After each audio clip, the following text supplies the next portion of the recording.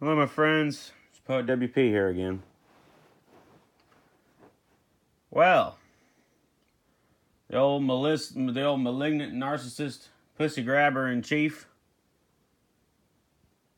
then come out and proclaimed himself a nationalist. Don't you hate it when people do that? Air quotes. National. You mean a nationalist? You mean like a white nationalist? You mean like a Nazi, you fucking piece of shit? yeah. Just like your fucking dad who marched with the Klan. Just like uh, you, you've denied uh, African Americans uh, apartments in your building. And on and on and on. The, the, the Central Park Five, yeah. Yeah, just like you wouldn't, uh, you wouldn't say Nazis are bad people. Because you're a fucking Nazi, evil, fucking Antichrist piece of shit, Donald Trump. The shoe fits. Lucky for uh, the good people of this world, you didn't come out right. You're fucking retarded. Satan's angry because this is what he has to work with in the fourth quarter.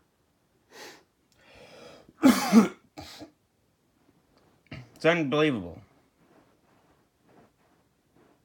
Anyone who people you still support Trump, you think you're a Christian, you're not. You're gonna go to hell when you die. Drop the fucking mic. That is the truth. How about that? You know, America, we're wrapped up in pride. Pride is a fucking sin. May I need I remind you? Uh, you know, Oscar Wilde said, "Patriotism is a virtue of the vicious." I tend to agree with that. You know, like George Carlin said, you know, you want to you want to be proud of something. Proud of be proud of something you achieve. I'm proud of my fucking degree in sociology. I'm proud the fact that I studied karate for over 15 years. Why the fuck would I be proud of some random uh, act of circumstance that I was happened to randomly be born into? I was born an American. I was born white. I identify more with black people.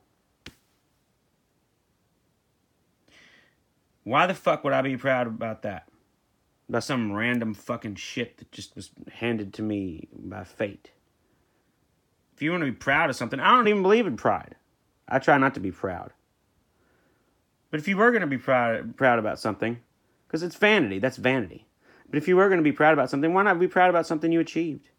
Not some shit that you were fucking just happened to be born into. You know? That's George Carlin. It's like a paraphrase of George Carlin. So this son of a bitch comes out and goes, I'm a fucking nationalist. And then, like clockwork, as though that was the cue, some crazy fucking nutcase Republican sends out, or Republicans, sent out fucking bombs to everybody. Mm hmm. You know, you Republicans are full of fear and ego and anger and hatred, and that's what motivates you and self gain. That's why you're fucking evil. It's real fucking simple. Wake up, dumbasses. I'm just, I'm so disgusted. I am a disgusted American. That's me. And I don't give a fuck. I'm going to speak the truth. And if you don't like it, you can just go away and melt, Snowflake. Uh, yeah, I think it's, you know, I guess that they may just let this bitch run off the rails. It was like a slow motion train crash. None of them have any spines. They're all paid off. Uh, what are you? You're just gonna crawl in your fucking bunkers as the world fucking burns? Is that what you're gonna do? Fucking assholes. uh, 25th Amendment. Trump has to be removed from office. It's time for the guys in the white coats to come in with the Valium Thorazine cocktail and carry his ass out on a stretcher, and he's got to go. How much longer? Are you going to let this shit go off the rails? What if these bombs blew up today? and the fucking war kicks off. I guess they just don't think it can happen. See, I live in the South. I have, I have to deal with these people every day. Let me tell you something. Ignorant, hateful people are quick to do violence. They fucking attacked me quite a few times. Uh, you know, it's in no one's interest, whether they be Republican or Democrat or whatever in between, to just fucking destroy everything. You playing with this fucking hatred and shit, all this division. Trump is evil. Evil. Fucking evil. You people that still support him at this point, you're not Christians. You think you're Christians, you're going to go to hell. You're supporting someone who is the equivalent of an antichrist. Uh, obviously, you're praying to the wrong God.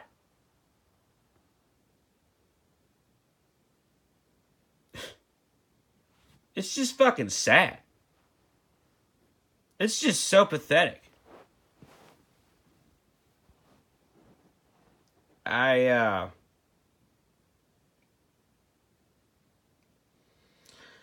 There's I don't you know, where do we go from here? How much longer? What the fuck is wrong with you, Mueller? Get off your fucking ass, bro. Jesus. They are they just gonna let this shit fucking just go to hell? And I mean, we're like this fucking close. You, you know how fucking easy this shit could just fall to shit immediate, like in a week? Pretty easily. Take down the. All it would take would be like an EMP strike or a fucking solar flare or anything. Fucking power plant go down. It'll all fall to shit. You think Trump's gonna be able to handle it? That motherfucker. It's unreal. I can't believe anybody still likes him. He's the worst, most. I could. It's like a. I couldn't have dreamed up a guy this bad, and I'm a writer. It's like you really got to be brainwashed. Are you just not watching the news? You're just not paying attention? I don't know what the fuck, man. It's it's getting scary. I mean, I'm not really scared. I don't give a fuck. I'm good. But just why? Why do you want to be all Watch that Tucker Carlson debate with Cenk Uygur last night. Tucker always looks confused and angry. Fearful.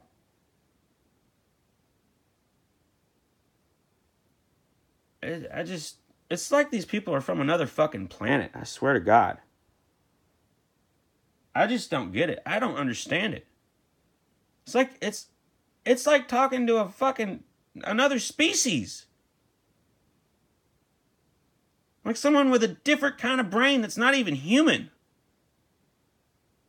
I don't understand. Maybe it's because I'm empathic and I'm like uh, born from compassion, suffering.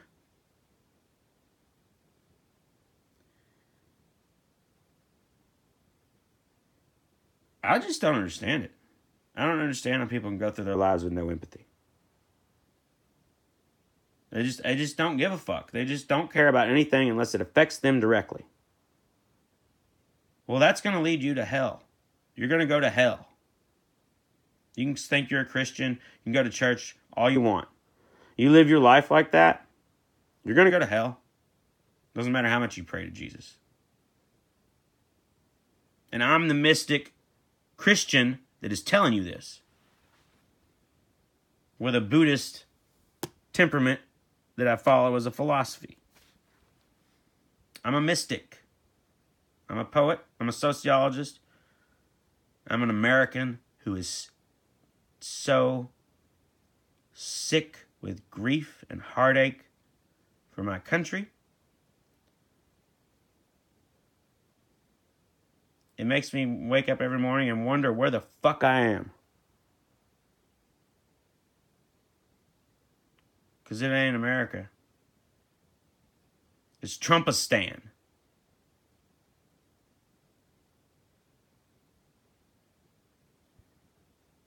Um, this is karma, baby. We're reaping what we sow. I guess there's no way around it. Don't don't act in anger. Find compassion. Find mercy. Don't you lash out. It's a new era now. Things are going to be different. Things are happening quickly. It's mirror season, as they've been saying. You're going to draw what is you, what you reflect, what you project, reflect, feel. What's it's going to come on you. It's going to come into you. It's going to I wish there was a better way to explain it.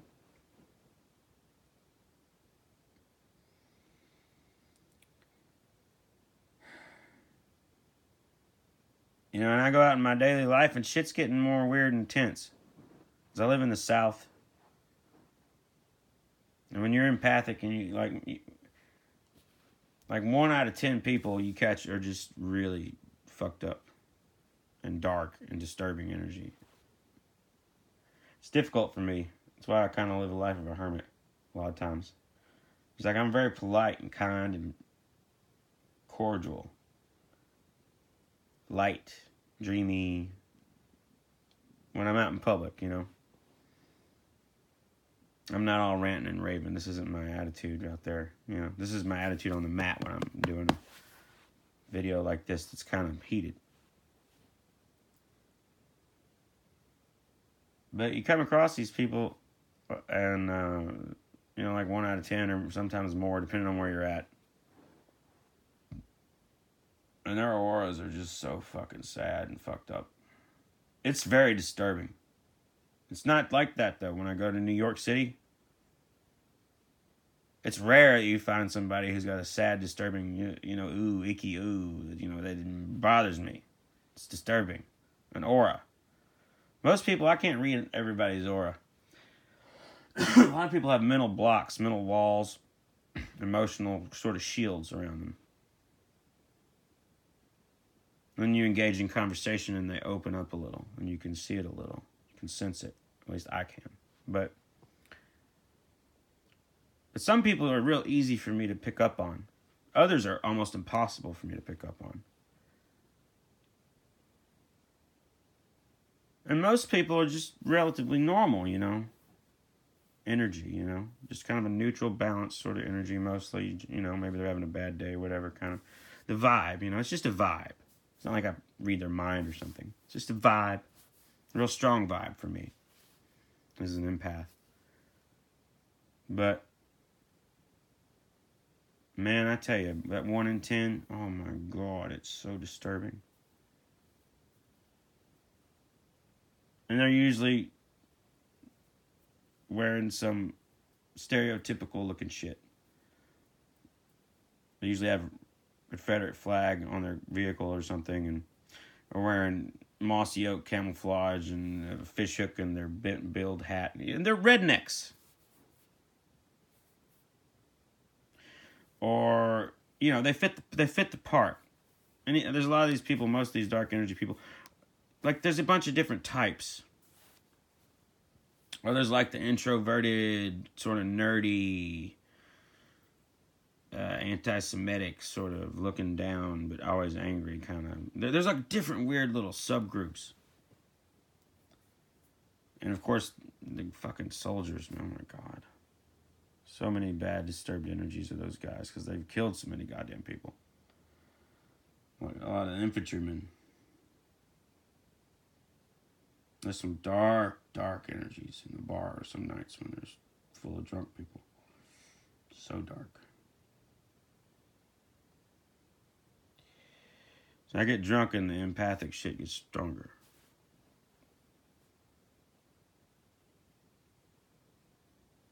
But people have to let go of their hate and fear. Fear, hate, anger. It's really simple stuff. It's not some grand enlightenment shit.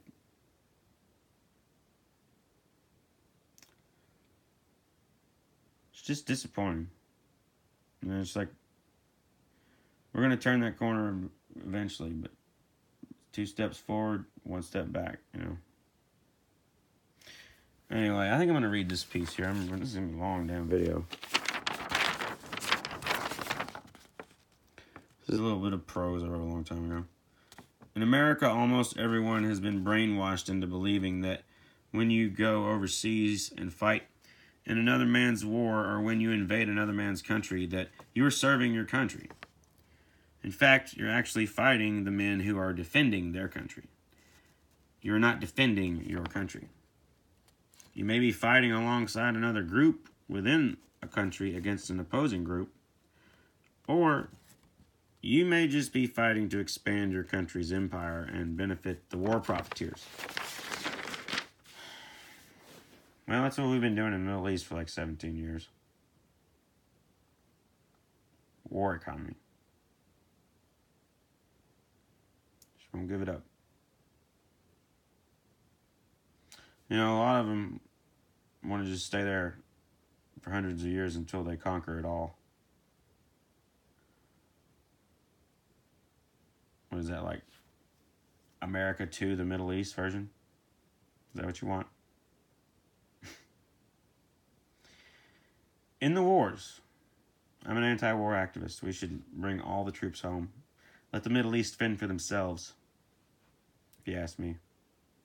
It's a bold notion. Why not give it a try? We haven't tried it yet. I think the only way we should be in a war, I think war should be contained locally by the by the surrounding. When something pops off, the surrounding countries jump in and defend the country that's being attacked by an invader. I mean, it's only logical, right? You don't just say, oh, there's a war over here. Oh, America, let's pull up all the wars. Let's see which one we like. Oh, we like this one. We can make a lot of money at this one. Let's go to that one. That's what they're doing. These are wars of choices. we don't have to fucking be there. They're just there to make money. I mean, this is it's really that simple. Killing for money. And our tax dollars pay for it. And it's a sin. Not very Christian.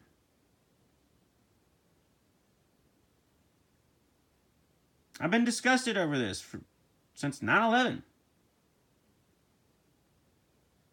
Because I'm empathic.